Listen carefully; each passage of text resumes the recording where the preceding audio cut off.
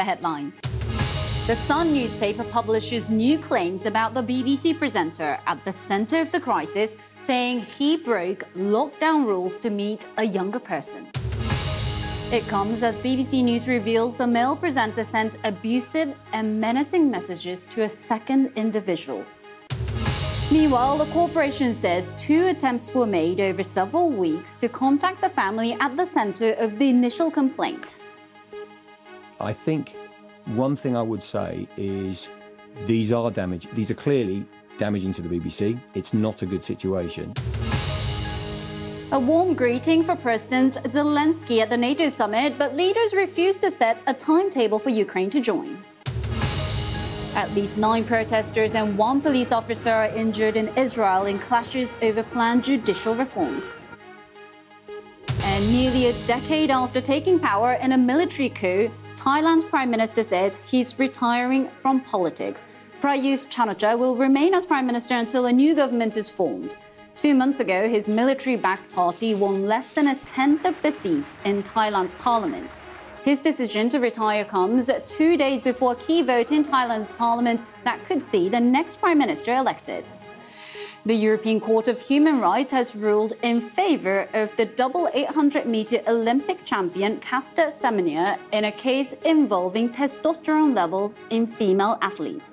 The 32 year old South African was born with differences of sexual development and is not allowed to compete in events between 400 meter and a mile without taking testosterone reducing drugs. Now, politicians in Washington have been questioning representatives from the PGA Tour over their proposed deal with LIV Golf. And in the course of their inquiries, US senators have discovered a non disparagement clause in the agreement that was signed that prevents golf chiefs from criticizing Saudi Arabia. The clause is not uncommon, but it would appear it was inserted into the contract on the eve of it being agreed a move that deeply concerns the Democratic Senator Richard Blumenthal.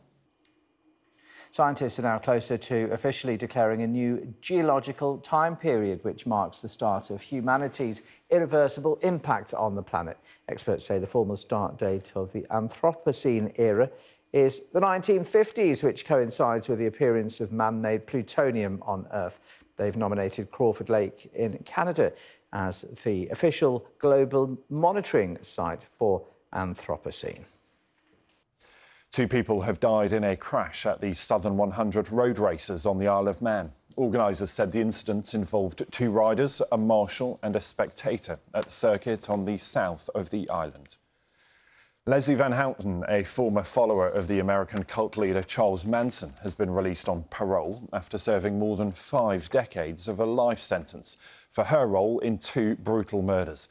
She was 19 when she broke into a home in Los Angeles and stabbed two people to death alongside other Manson followers in 1969.